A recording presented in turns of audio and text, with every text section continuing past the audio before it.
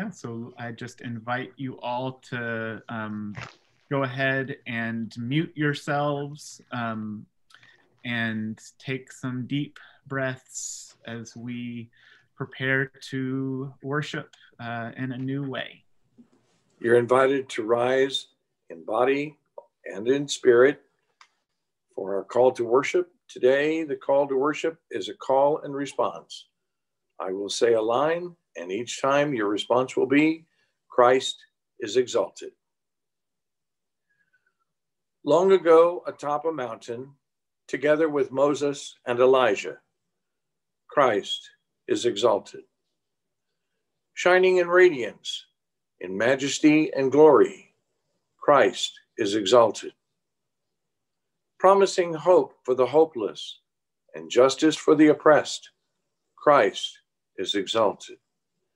In heaven above and in our hearts, Christ is exalted.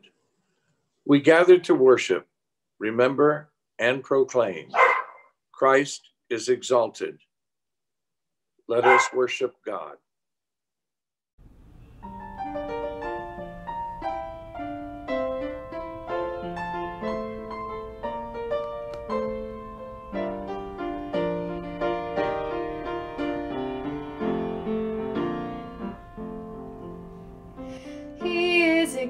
Exalted, the King is exalted on high. I will praise him, he is exalted forever, exalted,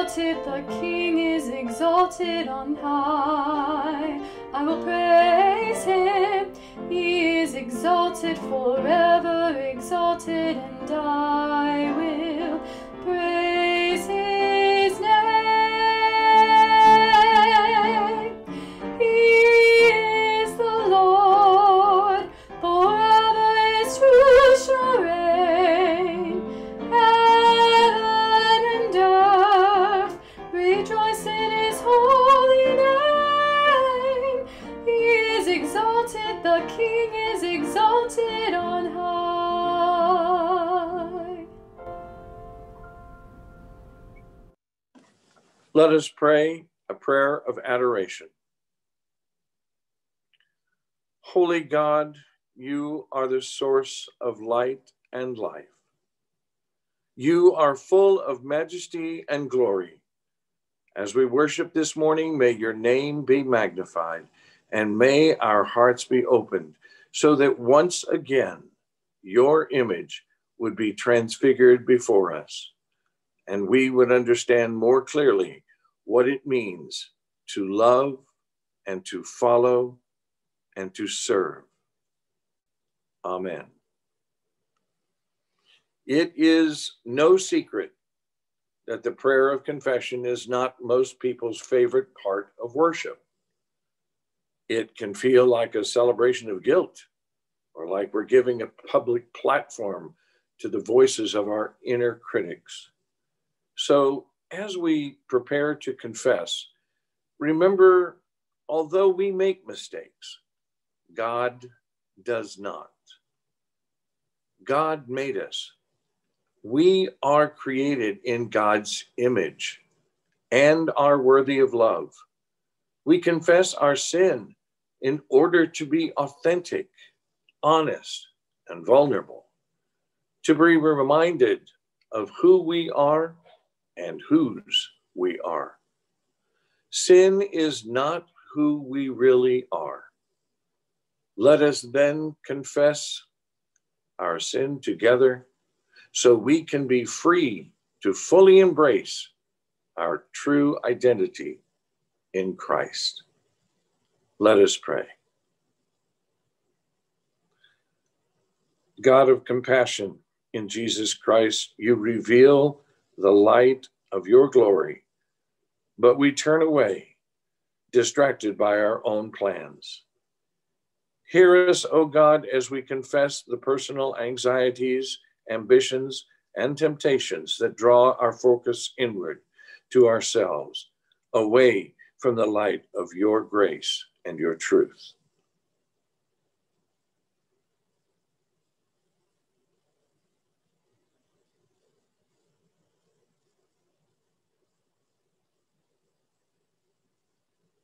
Hear us, O God, as we confess the ways in which we are more eager to speak than listen and to judge than understand.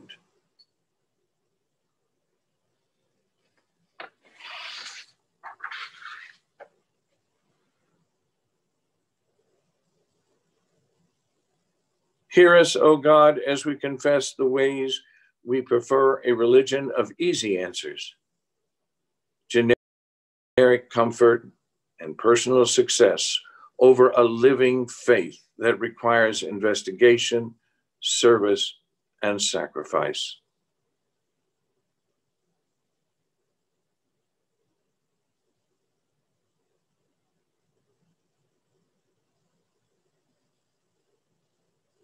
Loving God, we give thanks that you listen to our prayers. Forgive us, heal us, make us whole. Amen. I should have a assurance of pardon cam. Here we go.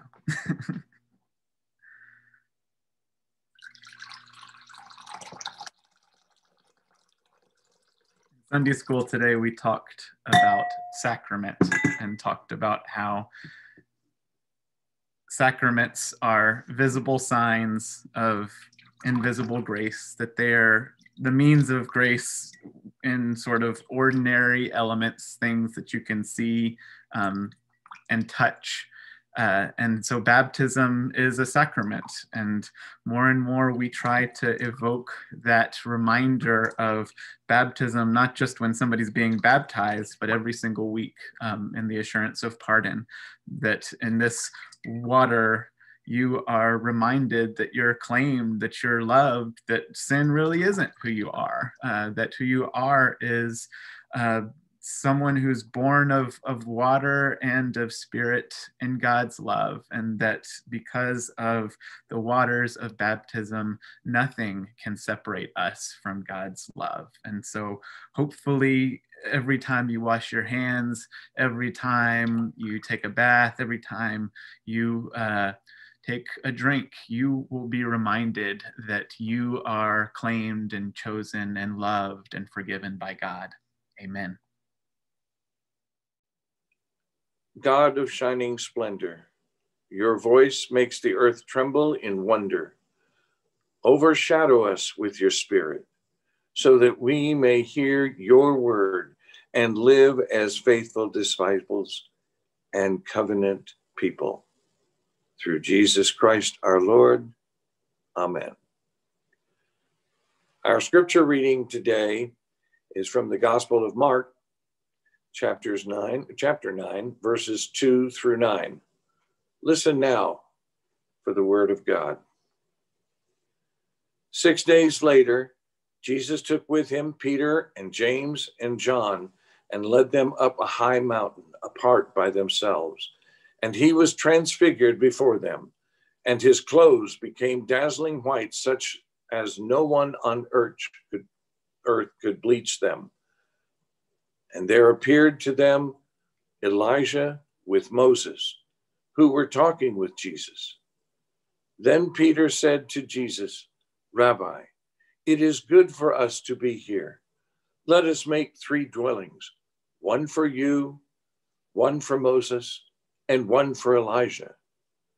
He did not know what to say, for they were terrified.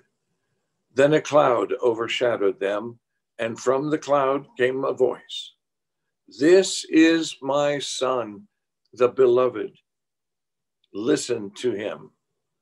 Suddenly, when they looked around, they saw no one with them anymore. but only Jesus. As they were coming down the mountain, he ordered them to tell no one about what they had seen until the Son of Man had risen from the dead. The word of the Lord. Thanks be to God.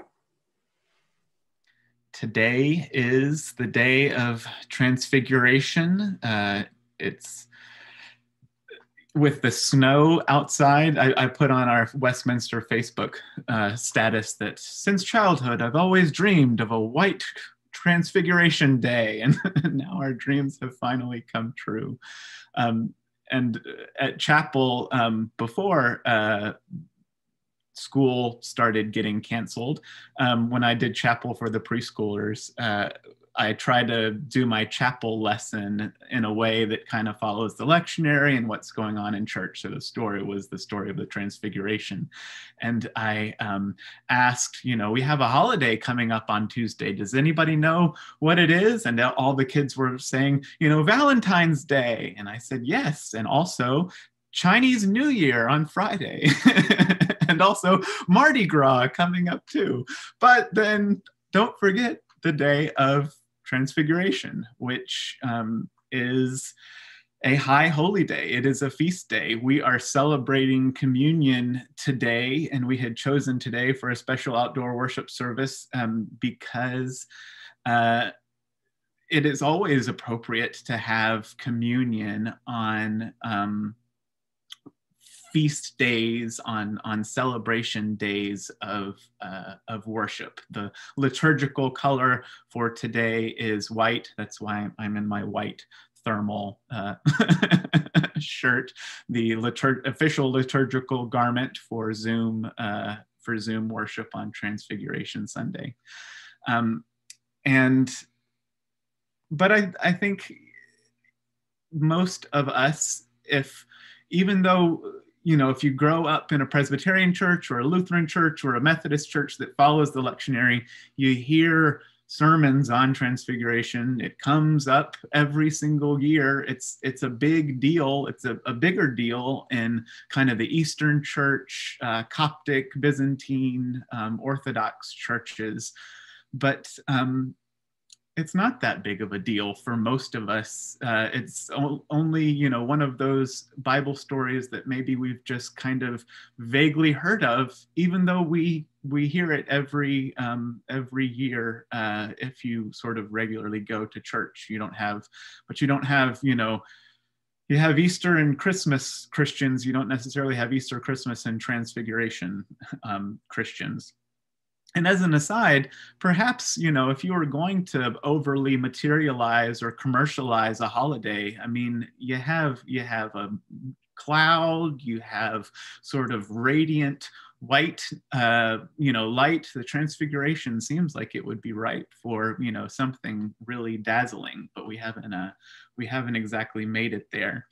Um, but i think it's it's interesting to think about the transfiguration kind of right now in this time, and especially um, I'm thinking about sacraments because our Sunday school class was about sacraments.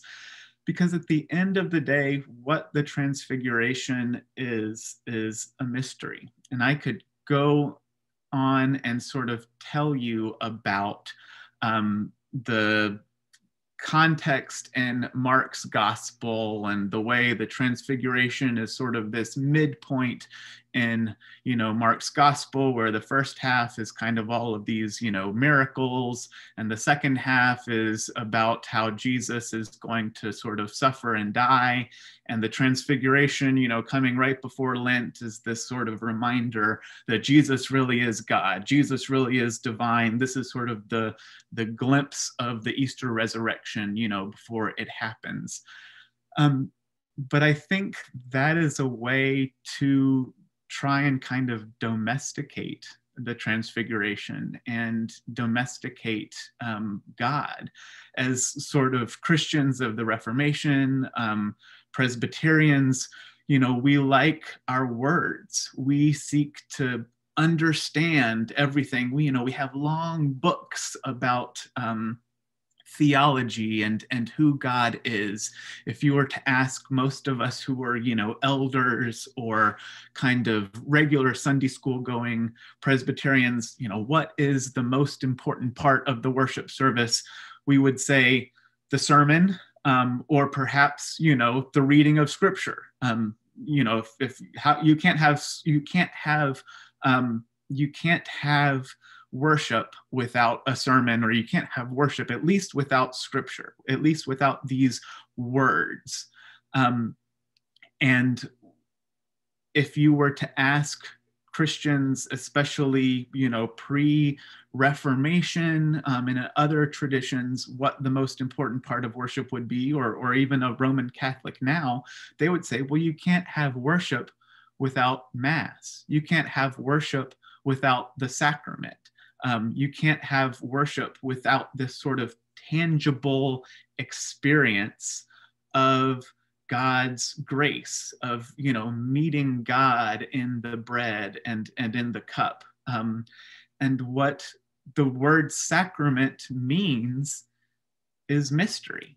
Um, and I think that is where we are going now as a church we're realizing that um, we have tried to to sort of control and kind of systematize theology and systematize God in the same way that, you know, in the course of modernity, we've tried to understand and sort of systematize and, and control everything about our um, built environment, about our world but the very nature of God is that God resists that um, that control. That God remains in control in a way that um, is, that we just cannot fathom. You can um, continue taking communion, continue you know remembering your baptism week after week after week,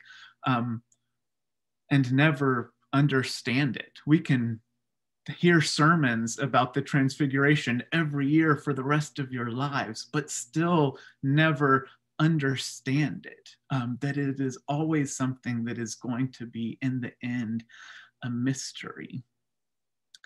Uh, and so, the part of the text that really stands out for me this week is the fact that the disciples and he just sort of takes the the inner sanctum of disciples peter james and john with him on the mountaintop. And all three synoptic gospels so matthew mark and luke are the synoptic gospels. This story is in all three of them. And in all three of them it's it's slightly different but in all three of them it says it goes out of the way, at least in Mark's, to say that they're alone, that there's nobody up there at the top of the mountain but them. But then when it happens, they are terrified. And if you have heard a sermon on the Transfiguration before, a lot of sermons on the transfiguration talk about you know mountaintop experiences talk about you know being in thin places maybe at a place like gilmont or a place like Mo ranch a place of natural beauty where you've been kind of taken out of your um, routine, taken out of your normal surroundings. And then there you have this mountaintop experience. You have this wonderful experience of God um, where sort of you gain understanding, you gain kind of a sense of God's love in a way, again, that's that is beyond kind of words. And that's what we compare to the transfiguration. And I think, you know, there's something to that. But the disciples are terrified. Like, this isn't just, oh, we had worship on, you know, chapel on the hill at Mo Ranch, and the communion was nice, and the hill country was beautiful, and you know the wind was blowing in my hair, and I had this sense that you know God was with us. No, I mean this is Peter, James, and John are with this guy, with this person that they know, that they've been getting to know. Peter has just said that Jesus is the Messiah. Um, the, this is their teacher they are all by themselves on the top of the mountain and all of a sudden this person that they know that they're friends with that they have you know broken bread with is just utterly transformed and is so completely this is not who they thought they they who they thought he was. And it's like they think they're going to die. They are in the presence of God and they are just utterly terrified that this is a mountaintop experience, kind of not necessarily like a trauma, but the what makes it memorable is that they are absolutely terrified because this person that they thought they knew, they have recognized is totally different and powerful and holy in a way that they cannot comprehend or understand. And I think about when something scary happens. Um, a lot of times, if in the midst of the craziness that is life, you know, right now in the midst of COVID, in the midst of this crazy cold snap, in the midst of, you know, the impeachment hearings and our political situation that just feels totally alien and foreign to anything that we have you know ever experienced before what we go back to saying our, our sort of standby phrase is well god is in control and that is what comforts us. Well, God is in control. God is in control. God is in control. And I think that's true. But I think most of the time when we say that, the subtext is that God is in control, but the God that is in control is this God that we know, is this God that's our God. It's this God that we belong to. And so it's like, because God is in control and because we believe in Jesus, we um, have this, you know, claim, we, we hold stock in God, and we believe God is in control that means kind of you know we're sort of in control too that that we're we're gonna be fine. And the message of the transfiguration is that if god is in control sometimes that's the opposite of comforting. That is absolutely terrifying. Because that is what was happening to Peter and James and John. They recognized right then in that moment that God was in control and they had no flipping idea what was going to happen next. I have a, um, I've started this uh, relationship with um, a mentor, a, a clergy um, coach who specializes in uh, transitional ministry.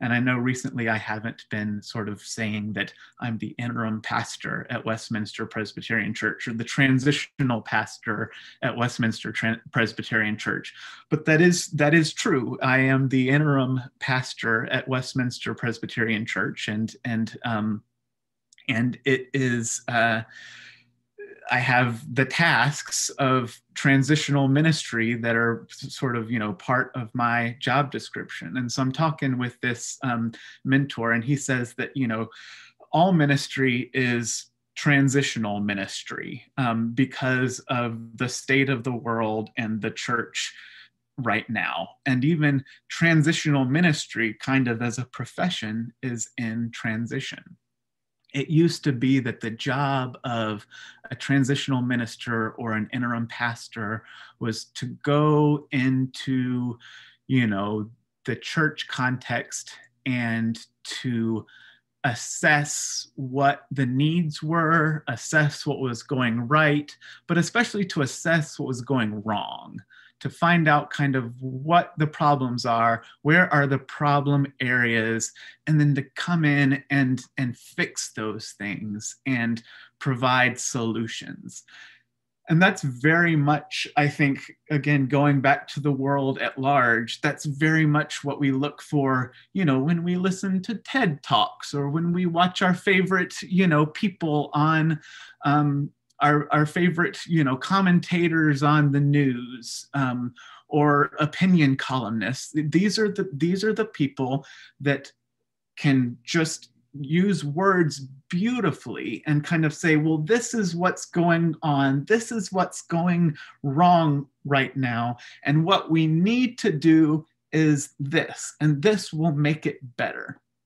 And, you know, that's been the job of transitional ministry too. And he's saying now we're thinking that the job of transitional ministry is to lead the people to a place where nobody knows what is going to happen, to where it seriously feels dangerous, because that is where God is in control. That is where the Holy Spirit shows up. Um, and as I look at kind of the state of the church right now and the state of you know the world right now and what happened on january 6th at the capitol has been on my mind because of you know the impeachment hearings and you know the way that these were church people who who you know did these things um, the church right now is desperately, desperately seeking to be in control.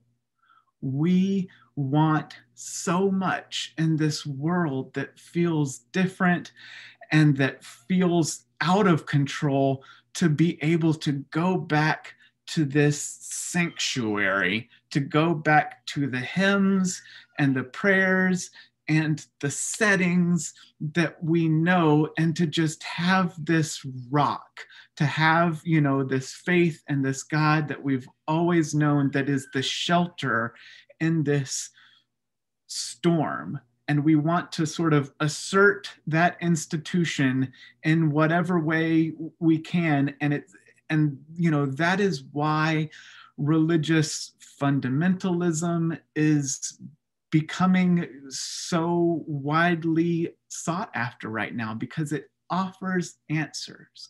It offers black and white, you know, this is why this is happening. We're in the end times. Don't be afraid. We're in the end times. Don't be afraid. God is in control. This is, you know, it feels like you're out of control, but this is exactly, you know, what's going to happen. Um, all you have to do is is you know believe and that's a way to sort of feel comfort um, and so what does it look like to say that god is in control but to not say that as a way to kind of try and claim power try and claim sort of institutional relevance for ourselves. What does it look like to say that we are going to intentionally put ourselves in a place where we are utterly dependent on a God who really is a mystery. We could be in the end times, we could not be in the end times because God is in control. We are not. It is a mystery. It reminds me of um, C.S. Lewis and the Chronicles of, um, of Narnia, where uh, they're asking a question about Aslan, um, and they ask, you know, well, is is Aslan safe? And they say no, Aslan is not safe. Aslan is not safe. but Aslan is good. Um, and if we are in the presence of Aslan and we believe as we do that that we are sinners, that you know we are not we may be beloved, but we are also part of you know the problem, part of the web of sin that we are that we are all trapped in. As if Aslan is good, that doesn't always mean that we are safe. Um, and we're striving so much for control and power and safety right now. And I think Westminster and the church in general is being asked to go and be on that mountaintop with a mystery that is utterly terrifying, that is wholly other, that might take us to a place where we could literally or you know figuratively die. Um, and that is where god shows up. And worship is practice for that. Um, being church together like this is practice for that. Um, i've kind of intentionally tried to make this a more informal worship service that's different from what we're used to so that we can be out of our routine so that we don't have a sense of control um, or what is going to happen. Um, and so I am going to now stop talking for a while and at least take a few minutes to see in the context of worship what you all think about that and your own reflections, your own. We have a small enough group to where if there is something that you would like to sort of say or to reflect on, or if you would just like to sit in silence, um, there's an opportunity for that now. Um, and i don't know what's going to happen. I'm not i am not in control. And i'm a little bit terrified right now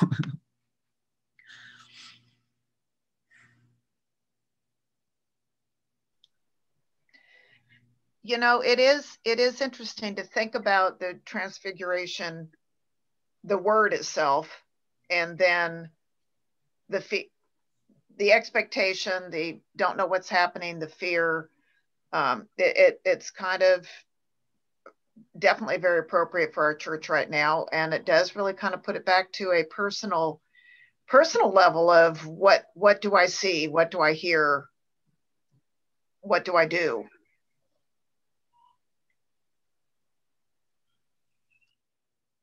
yeah thank you anna's made a comment in the chat box Yes, Anna says that I think this really relates to faith being the opposite of certainty, too. Yes, which is what we talked about um, last week, that faith is realizing that we cannot be in control and that if God is in control, at times maybe that's comforting, but that should also be a little bit terrifying.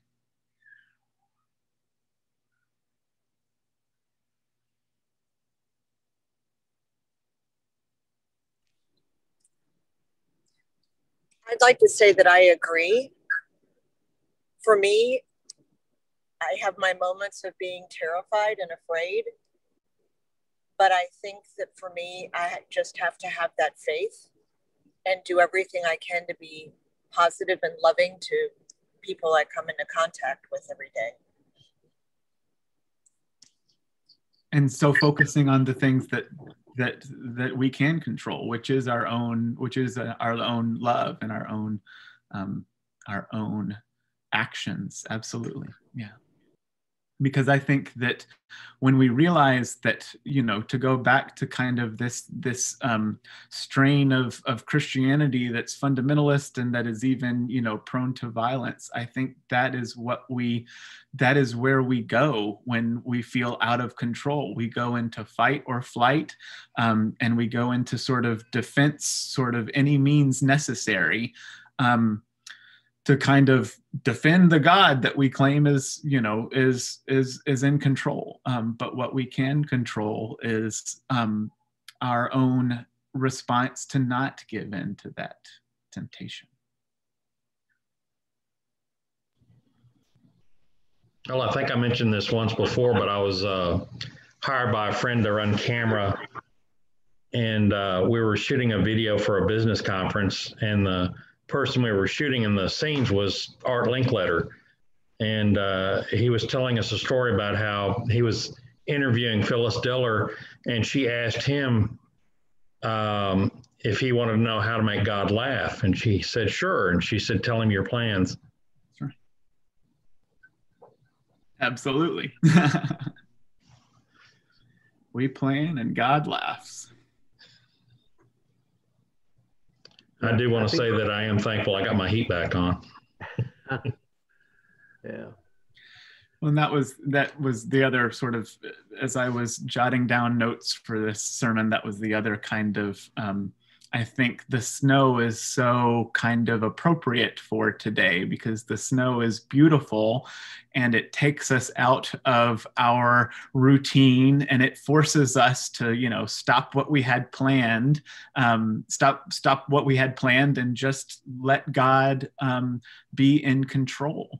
Uh, and and I think that you know that's why it's so sort of you know God is in control, and that's why that's why we um, ended up with this for our Transfiguration worship service. But but again, I think if we're going on sort of the real meaning of the Transfiguration, it is well we have this snow and and ice and you know if there were a power outage if you were stranded in your car um, it would feel a lot less sort of beautiful and serene and domesticated and a more like okay god is in control and this is absolutely life threatening and terrifying.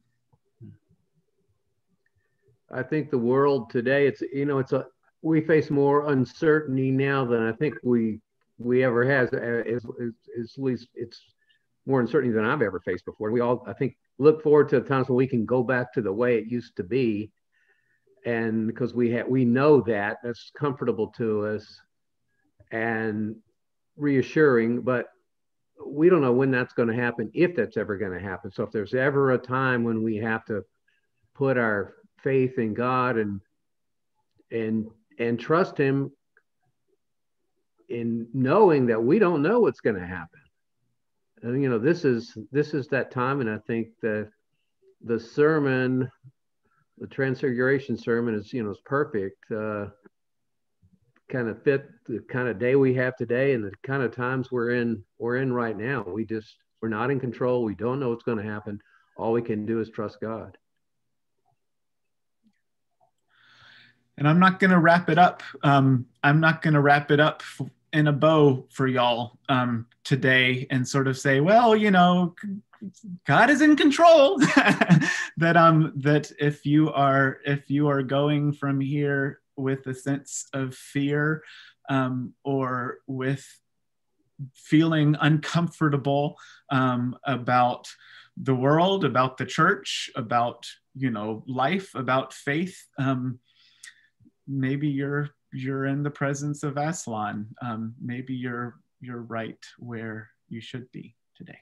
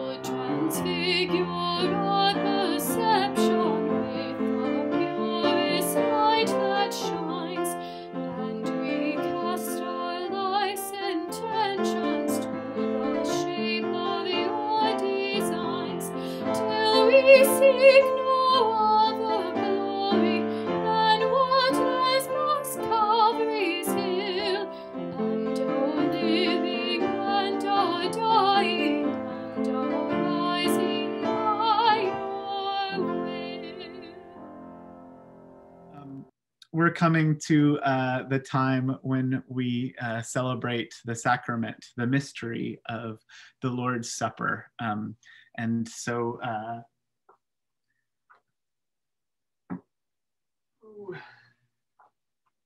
and so I have a breadstick and my wine, um, and it is a mystery um, to us how God is present among us gathered, even though we're only gathered virtually. It is a mystery in the way that God is present in whatever elements we have brought uh, today to um, experience God's presence and God's uh, God's life with us.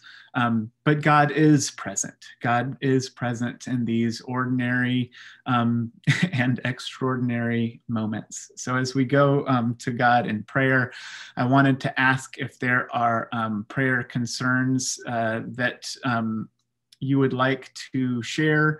Um, the first one that uh, Anne brought to my attention is that Jeff Ploger's mom, and I don't know his mom's name, but um, but she has been diagnosed with COVID. Uh, you said, Anne, do you want to say more about that?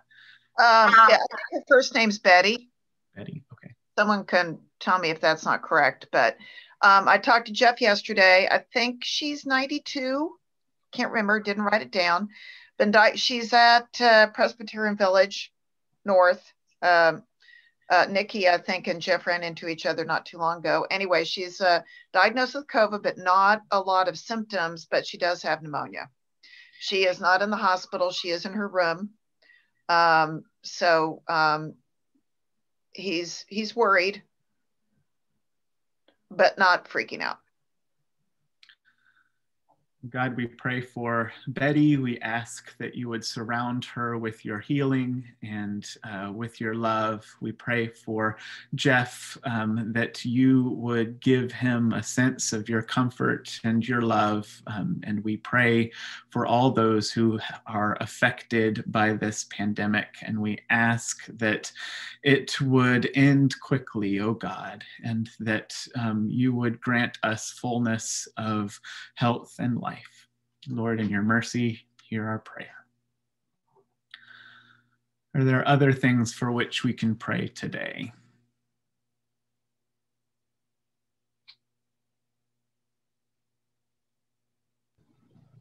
Uh, perhaps the victims that were killed in the uh, car wreck Thursday and the police officer that uh, died early yesterday morning.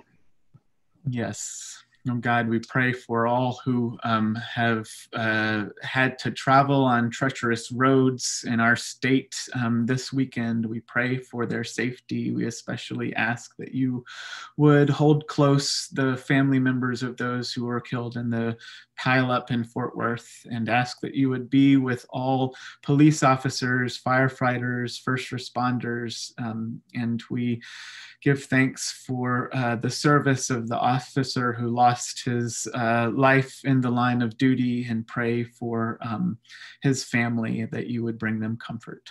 Lord, in your mercy, hear our prayer. The the homeless during this Arctic blast. Yes. Oh God, we ask that you would be with all those who don't know where they are going to sleep tonight, um, who have been outdoors or who are crowded into shelters where they very much feel out of control and feel afraid. Um, and we pray for the day when all will be cared for and housed. Lord, in your mercy, hear our prayer. And pray as well for um, Ann Tanner. Uh, I don't know, um, I don't have an update on Ann, but I know that she has been in rehab following her broken pelvis. We ask that God would surround Ann with, uh, with comfort.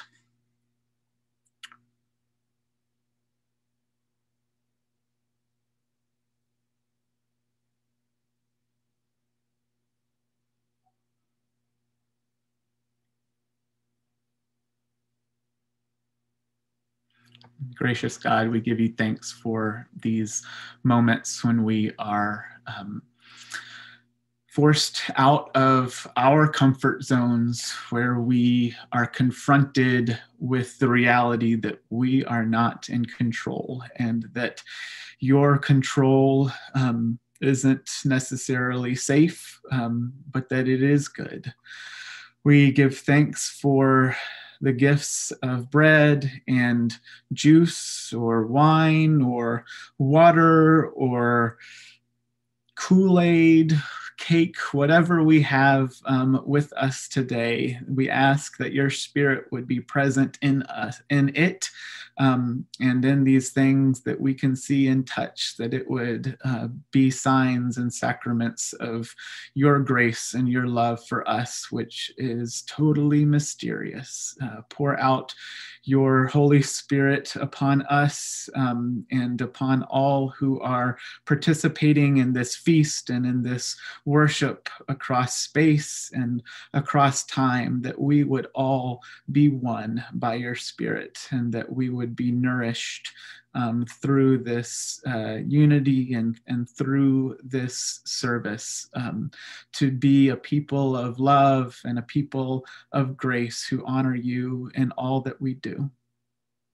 We offer um, now other prayers that are on our hearts, both those that our lips name, both those that are in our consciousness, and those that are known only to you. Lord, in your mercy, hear our prayer and hear us as together we pray the prayer your Son taught us, saying, Our Father, who art in heaven, hallowed be thy name. Thy kingdom come, thy will be done, on earth as it is in heaven. Give us this day our daily bread, and forgive us our debts as we forgive our debtors. And lead us not into temptation but deliver us from evil. For thine is the kingdom, and the power, and the glory forever. Amen. Um, and so we uh, remember on the night uh, of his arrest, Jesus was at table with his disciples, and there he took bread and gave thanks and broke it and gave it to them and said, This is my body given for you. Take, eat, and whenever you do this, remember me. And in the same way, after supper, he took the cup and said, This is the cup of the new covenant, which is sealed in my blood, poured out for you for the forgiveness of sins. Whenever you drink it, remember me. For as often as we eat this bread and drink this cup, we proclaim Christ's saving death until he comes again in glory. And these are the gifts of God for you, the people of God. Holy things for holy people. And let us now um, commune together and uh, enjoy time in God's presence.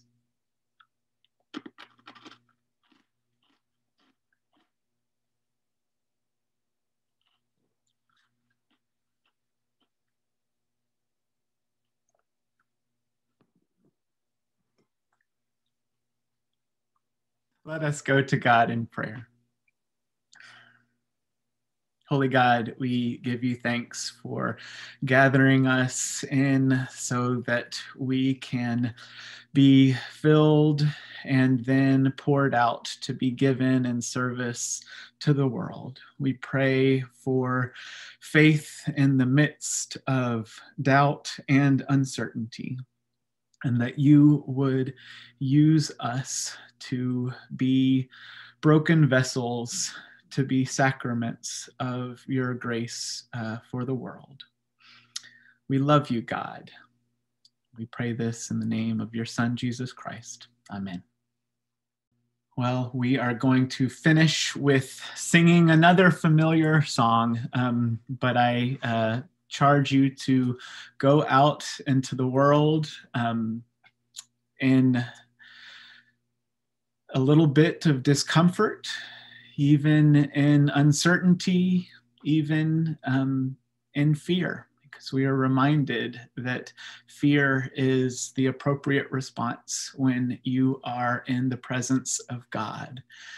And so you go knowing that you are in the presence of God and that God's grace, the grace of Jesus Christ, and the love of God and the fellowship of the Holy Spirit will be with you, with each and every one of you, now and forever. Amen.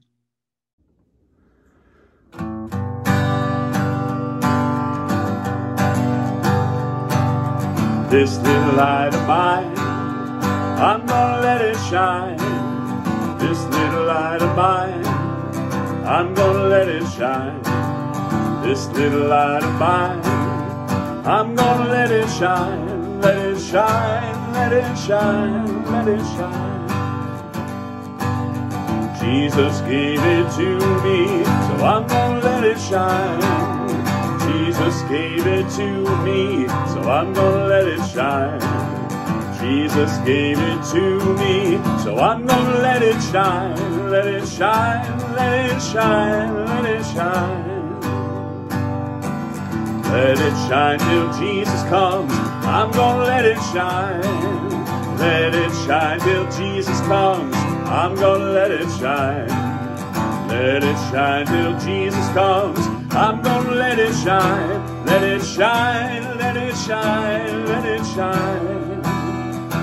Let it shine, let it shine, oh let it shine.